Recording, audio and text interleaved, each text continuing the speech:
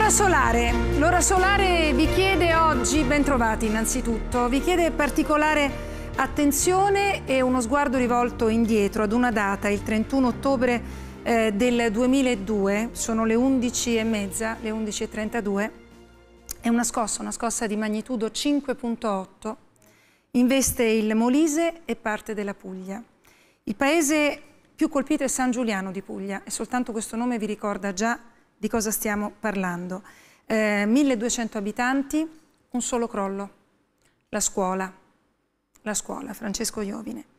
Muoiono 27 bambini, viene cancellata un'intera generazione, 27 bambini e la loro maestra.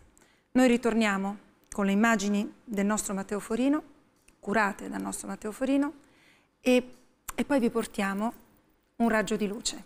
Portiamo un raggio di luce nelle vostre case.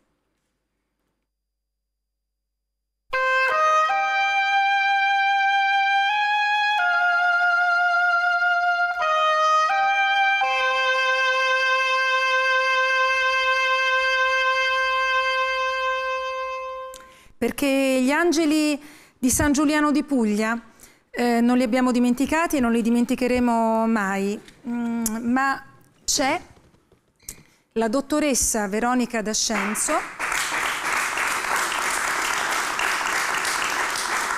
neolaureata, che aveva sette anni ed era in quella scuola quel giorno ed è una delle bambine sopravvissute. Prima di tutto, grazie con un bacio.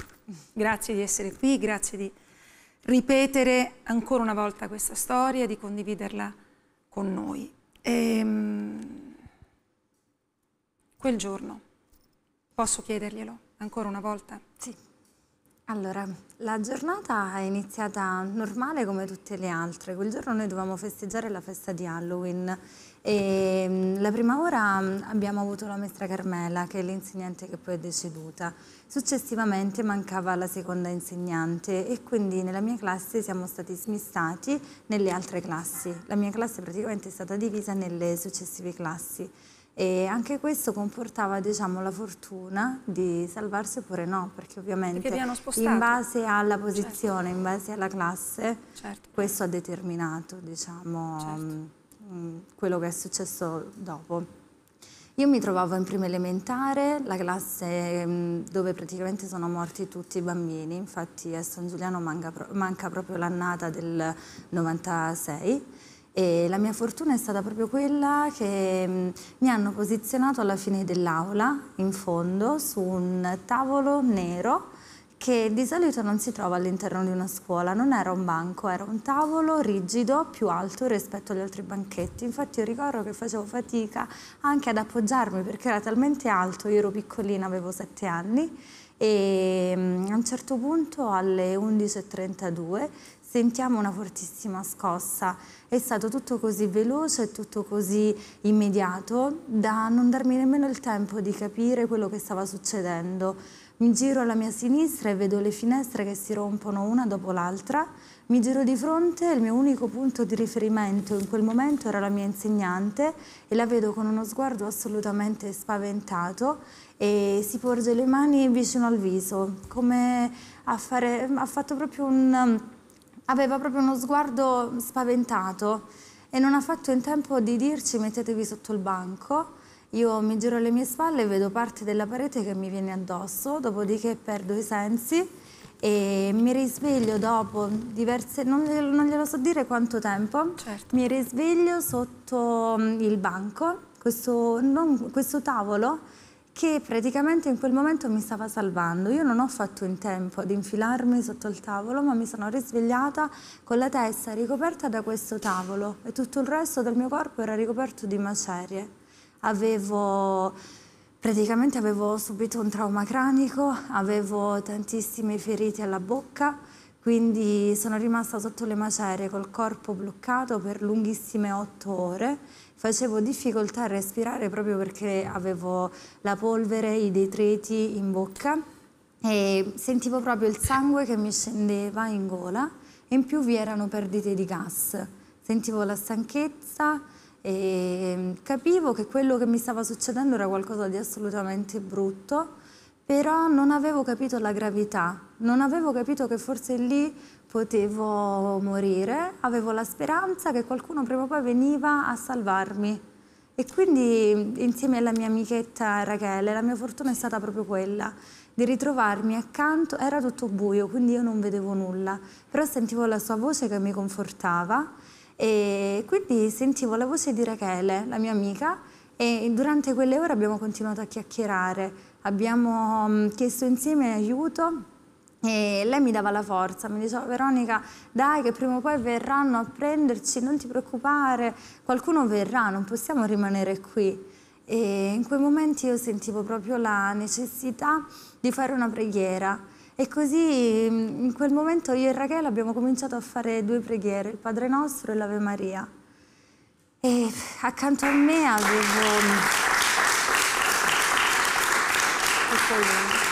Io ero Ero una semplice bambina, non capivo la gravità, non capivo quello che stava succedendo, vedevo, mh, mm, vedevo tutto buio, capivo che era una situazione assolutamente strana che non mi era mai successa, e, però avevo la speranza che da lì uscivo prima o poi. Accanto... Questo, questo, forse, Veronica, mi perdoni, la interrompo sì. solo un attimo. Questa forse è, la, è, la, è stata davvero la salvezza, cioè essere una bambina. Sì, sì. Nel senso che sì. avete compreso che il mondo vi fosse crollato addosso. Il mondo, il vostro mondo, la vostra scuola. Io Però... non avevo capito, non avevo capito nemmeno che ero finita sotto la scuola e che la scuola mi era crollata. Per me era una cosa impossibile. Cioè la scuola che per me rappresentava il posto più sicuro al mondo era impossibile che era crollata. Ha ragione. Ho visto Veronica. soltanto... Ha ragione. Ho visto soltanto tanta polvere, cioè vedi, non nemmeno vedevo, sentivo la polvere, l'odore del gas e il buio.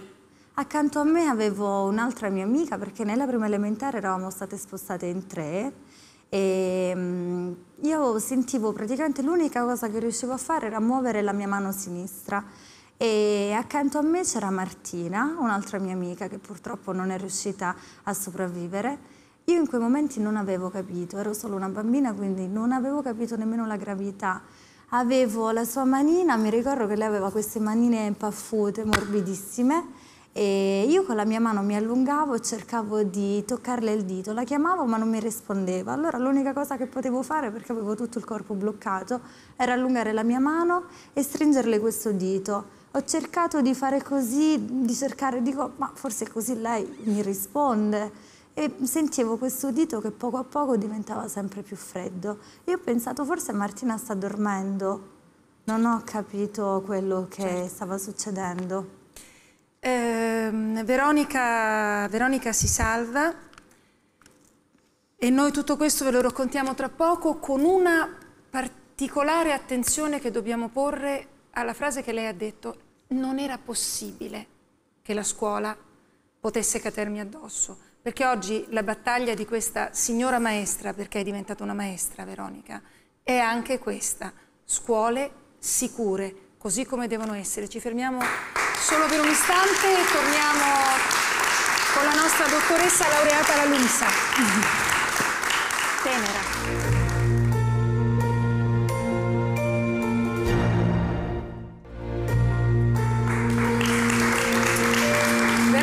Crescenzo aveva sette anni la mattina del terremoto di San Giuliano di Puglia. Oggi è diventata maestra, si è laureata, ci sta facendo il grandissimo regalo di raccontarci quel suo giorno e poi tutto quello che è seguito. Insomma, ad un certo punto sono arrivati i vigili del fuoco. Sì.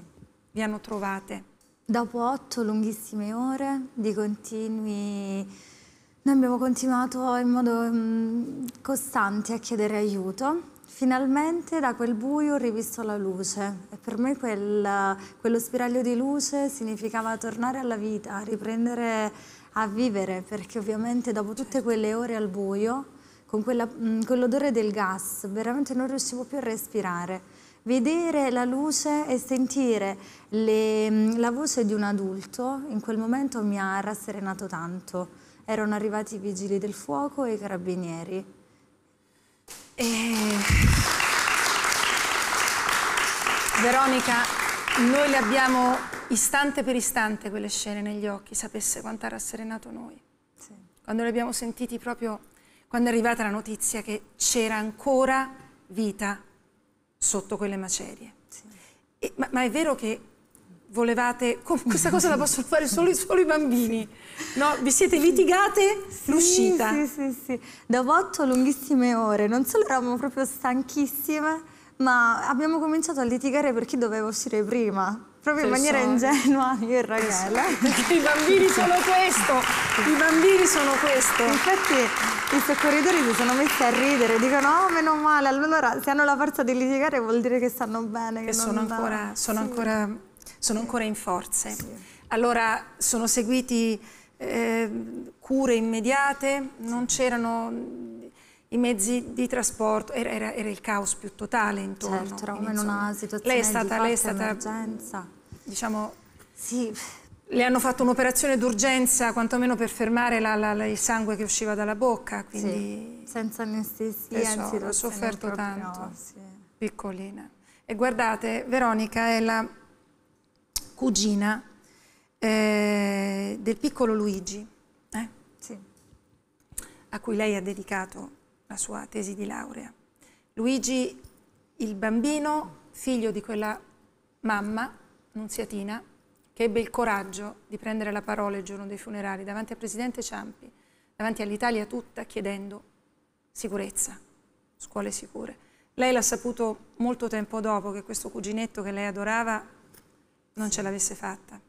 Sì, subito dopo, quando mi hanno portato in, in ospedale, ho passato un momento molto buio della mia vita, sia a livello fisico ma anche per tutto il resto. Sono stata proprio seguita, mi sono state vicino tantissime persone. In quel momento il mio stato fisico non era ancora pronto per ehm, sopportare un lutto del genere. Io e Luigi avevamo la stessa età, per me era veramente come un fratello. E quindi quando ero in ospedale mia mamma continuava a dirmi che Luigi stava bene ed era in un altro ospedale. E io l'unica cosa che riuscivo a fare, perché avevo tutto il corpo bloccato per i vari interventi che avevo subito, era quello di aprire con la mia mano sinistra il cassetto del mio comodino. Avevo questi tre ovetti di cioccolato. Io ogni giorno prendevo un ovetto di cioccolato e lo mandavo tramite mia mamma a Luigi, dicendo guarda mamma questo è per Luigi, così lui sta meglio. Mi dicevano che lui era in un altro ospedale. Eh, certo.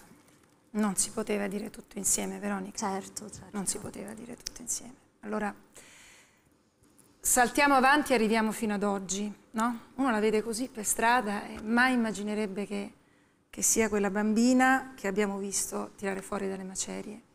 E la dottoressa ha in mano la sua tesi di laurea, che noi facciamo, che noi mostriamo, didattica e pedagogia a servizio dei bambini con disturbo post-traumatico da stress, l'esperienza di San Giuliano. Signori, se non la scriveva lui, lei chi, chi avrebbe potuto? Chi? E c'è poi una dedica all'interno. C'è una dedica che mostriamo, prima di mostrarvi ancora qualcos'altro, perché questi sono i raggi di sole. A mio cugino Luigi, vivo sarà il ricordo, il suo ricordo nei miei passi. E sono ragazzi molisani questi. Il Molise dice, fa e realizza, questo me lo permetta questo me lo permetta.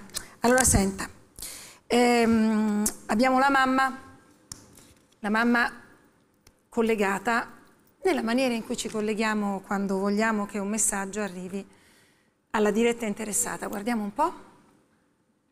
Quanto è bella. Ma quanto è bella. Ciao Veronica, siamo orgogliosi di te. Il giorno della tua laurea è coinciso con la festa della Madonna del Rosario. Questo ha avuto un significato particolare per me. Ti auguro di essere sempre protetta dal suo amorevole sguardo. Ti auguro una vita serena, ricca di successi e di fortuna. Ti auguro di essere circondata da persone che sappiano amarti come noi ti amiamo. Ti auguro di essere una buona insegnante. Buona vita, figliola. E, mm, Continua questa Madonna del Rosario, ecco quella preghiera detta sotto le macerie e effettivamente la laurea è arrivata proprio il giorno preciso. Esatto. Ma c'è anche zia Annunziatina, eh? Eh, lì l'ho chiamata proprio, ho detto Nunziatina mi fa sto regalo, per favore, guardatela. Veronica, zia, ti fa gli auguri per questo tuo primo traguardo. Sono sicura che sarai una bravissima maestra con quella sensibilità che ti caratterizza. Sono contenta e mi hai fatto emozionare per la dedica che hai voluto fare a Luigi. Eh, ti auguro il meglio che la vita può offrirti. Un bacio zia. Anche noi mandiamo un bacio a questa zia. Senta, dottoressa, dottoressa D'Ascenzo, allora lei fa la maestra, Sì. eh, lei si vuole occupare di sicurezza. mm? Sì. Questo, fa- questo sarà il suo secondo lavoro accanto a quello della maestra. Sì. Lo faccia dando voce a tutti quei bambini. Non glielo devo dire, lei so che già lo farà, però Certo. lo farà. Quando, quando arriva la ricorrenza del 31 ottobre è, è sempre difficile, però ogni anno è un anno avanti, no? È vero. È così. Sì, io di solito evito di tornare a San Giuliano il giorno del 31 ottobre, proprio perché preferisco impegnarmi ogni giorno nel, nel ricordo costante di questo brutto avvenimento, però io l'ho trasformato in qualcosa di positivo, cioè questo- questa tragedia, questo, questo trauma che ho subito da bambina mi dà la forza ogni giorno di svegliarmi con il sorriso, di essere quindi positiva e empatica con le persone che ho di fronte. E soprattutto credo che una tragedia del genere non bisogna assolutamente dimenticarla, bisogna parlarne proprio per evitare tragedie ed errori come quelli avvenuti a San Giuliano di Puglia. Ci tengo soprattutto a continuare a mantenere il ricordo dei miei compagni, di mio cugino, altrimenti sarebbe come ehm, morire in vano. Invece io voglio continuare a portare avanti i loro nomi e i loro ricordi, proprio perché loro sono gli angeli di San Giuliano, tutti li ricordano, tutti ricordano queste tragedie. Bisogna adesso invece trasformare questa tragedia in qualcosa di positivo, pensare che una cosa del genere non debba mai più succedere. Io non ho nient'altro da dire. Veronica D'Ascenzo. Ci fermiamo solo per un attimo. Grazie. Grazie.